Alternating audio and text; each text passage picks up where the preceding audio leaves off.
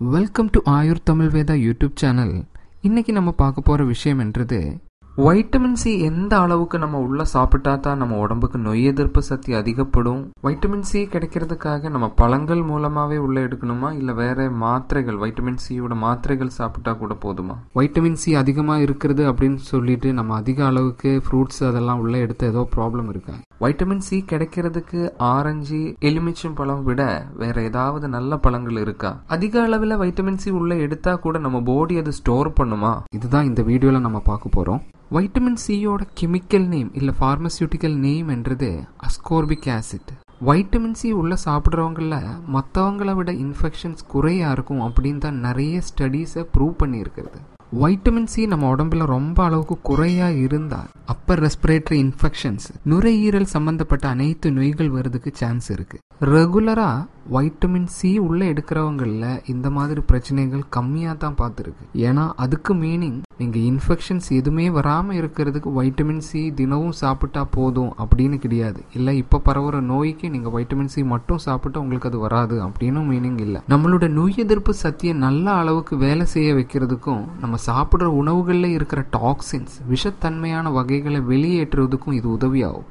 அந்த டாக்ஸின்ஸை ஆக்சிடேட் பண்ணி டீடாக்சிஃபிகேட் பண்ணி அது கரல் மூலமாகவும் கிட்னி மூலமாகவும் வெளியேற்றுறதுக்கும் இது உதவியாகிற ஒன்று தான் வைட்டமின் சி குறையாக இருந்தால் டாக்ஸின்ஸை மேனேஜ் பண்ணுவதுக்காக பாடிக்கு இருக்கிற கெப்பாசிட்டி கம்மியாகும். நம்ம உடம்புல இரும்பு சத்து அதிகப்படணும் இல்லை பிளட் அதிகரிக்கணும் ஹீமோகுளோபின் அளவு அதிகரிக்கணும் அப்படின்னா நீங்கள் வைட்டமின் சி கண்டிப்பாக உள்ள எடுத்து தான் ஆகணும் நேச்சுரலாக கிடைக்கிற வைட்டமின் சி என்றது அஸ்கோர்பிக் ஆசிட் மட்டும் கிடையாது. அப்படின்னா நம்ம ஒரு நெல்லிக்காய் சாப்பிட்றது அதில் வைட்டமின் சி மட்டும் இல்லை அதோட சேர்ந்து ஃப்ளவனாய்ட்ஸ் இருக்கு அதே மாதிரி பலவிதமான பொருள்கள் இருக்குது இது எல்லாமே சேரும்போது தான் உடம்புக்கு அஸ்கோர்பிக் ஆசிட் வைட்டமின் சி என்றது உடம்புக்கு எடுக்க முடிகிற அளவுக்கு கிடைக்கும். ஒரு நாளைக்கு ஒருத்தருக்கு எவ்வளவு அளவுக்கு வைட்டமின் சி தேவைப்படும் அப்படின்னு கேட்டால் அதிகமாக நம்ம வைட்டமின் சி உள்ள எடுத்தால் கூட அறுபது மில்லிகிராம்ல இருந்து தொண்ணூறு மில்லிகிராம் வரைக்கும் மட்டும்தான் உடம்புக்கு தேவைப்படுது. அதே மாதிரி வைட்டமின் சி என்றது நம்ம உப்பு சர்க்கரை எல்லாமே எப்படி நீரில் கரைக்கப்படுவதோ அதே மாதிரி நீரில் கரைக்கப்படுற ஒன்று தான் வைட்டமின் சி என்றது. வாட்டர் சோலிபிள் அப்படின்னு சொல்கிறோம் ஏன்னா நம்ம வைட்டமின் டி எடுத்து பார்த்தா அது ஆயில் சோலிபிள் அதனால வந்து அது அதிக நாள் நம்ம பாடியில் இருக்கும். ஏன்னா வைட்டமின் சி என்றது நம்ம சாப்பிட்டு கொஞ்சம் அவர்ஸுக்கு அப்புறம் இது நீரில் கரைக்கப்படுறதுனால யூரின் மூலமாக வெளியேறிடும். இப்போ நீங்கள் அதிக அளவில் வைட்டமின் சி உணவு மூலமாக உள்ளே எடுக்குது அப்படின்னா ஒரு டூ ஹண்ட்ரட் எம்ஜி வரைக்கும் நீங்கள் எடுக்குது. அப்படின்னா ஃபுல்லாகவே பாடி அதை அப்சர்வ் பண்ணும். ஏன்னா நீங்கள் அதுக்கு மீத அளவுக்கு ஒரு ஃபைவ் ஹண்ட்ரட் எம்ஜி உள்ளே எடுக்குது வைட்டமின் சி அப்படின்னா அது பாடி ஃபுல்லாகவே எடுக்காது அப்சர்வ் ஆக மாட்டோம். இருநூற்றி ஐம்பதுலேருந்து இருநூற்றி எழுபது வரைக்கும் மேக்ஸிமம் பாடி அப்சர்வ் பண்ணும். அதே மாதிரி ஒரு மெக்கானிசம் தான் நம்ம பாடியில் இருக்குது இது வைட்டமின் சி மட்டும் கிடையாது. நீங்கள் இரும்பு சத்தை அதிகமாக சாப்பிட்டாலும் பாடிக்கு தேவைப்பட்ட அளவுக்கு மட்டும்தான் அது உள்ளே அப்சர்வ் பண்ணும். அதே மாதிரி கால்சியம் எங்கள் அளவுக்கு அதிகமாக சாப்பிட்டாலும் பாடிக்கு தேவைப்பட்ட அளவுக்கு மட்டும்தான் அது உள்ளே அப்சர்வ் பண்ணும். வைட்டமின் சி வேணுமே அப்படின்னு சொல்லிட்டு நீங்கள் அதிக அளவில் ஒரு அஞ்சு ஆறு ஆரஞ்சு சாப்பிட்டா ஆகும். அப்படின்னு நினச்சி நீங்கள் அதிக அளவில் சாப்பிட்டா கூட அது நம்ம பாடி எடுக்கணும் அப்படின்னு எந்த அவசியமே இல்லை. அப்படித்தான் நம்ம மெக்கானிசமே வைட்டமின் சி கிடைக்கக்கூடிய நேச்சுரல் ஃபுட் எது அப்படின்னு நம்ம பார்த்தா அதில் முக்கியமாக சிட்ரஸ் ஃப்ரூட்ஸ் தான். எலுமிச்சி பழம் ஆரஞ்சு அந்த மாதிரி. இது மட்டும்தான் நம்ம கேள்விப்பட்டிருக்கோம். ஏன்னா இதை விட தாராளமாக வைட்டமின் சி இருக்கிற வகைகள் தாராளமாக இருக்குது ஒன்று நெல்லிக்காய்.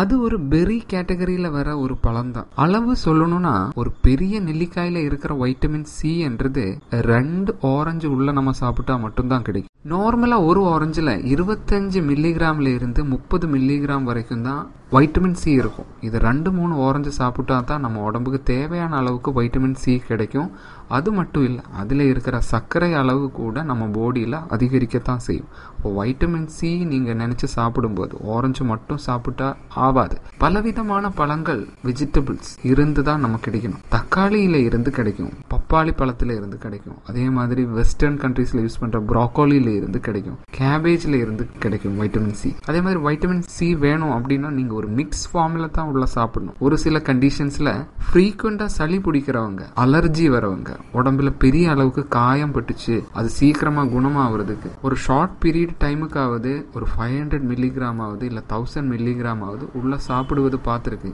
ஏன்னா அது கண்டினியூஸாக நீங்கள் சாப்பிடுறது வந்து உடம்புக்கு கொஞ்சம் கூட நல்லது கிடையாது. அதுக்கு சைடு எஃபெக்ட்ஸும் இருக்கும். அந்த மாதிரி வர சைடு எஃபெக்ட்ஸ் என்ன அப்படின்னு பார்க்கலாம். வைட்டமின் சி என்றது ஒரு ஆசிட் அப்படின்னு சொல்லியாச்சு. அஸ்கோர்பிக் ஆசிட் இது ஓவர் டோஸில் உள்ளே போனால் அசிடிட்டி அந்த மாதிரி லூஸ் மோஷன் வயிற்று வலி கேஸ் ப்ராப்ளம் இந்த மாதிரி பிரச்சனைகள் தாராளமாக வரலாம். இது ஒரு அயன் அப்சர்வ் பண்ணுறதுக்கு உதவியாக ஒரு ஒன்று அப்படின்னு சொல்லியாச்சு. வைட்டமின் சி அதிகமாக உள்ள சாப்பிட்டா உணவில் இருந்து அயன் அதிகமாக அப்சர்வ் பண்ணும். அதனால பாடியில் அயன் அளவு அதிகப்படும். அது லிவர்ல டெபாசிட் ஆகும். அதுவும் பிரச்சனை தான். இது ஒரு ஆசிட்டா இருக்கிறதுனால இது ஆக்சிலேட்டா மாத்தியதுக்கு அப்புறம் தான் இதோட மெட்டபாலிசமே ஆரம்பிக்கும்.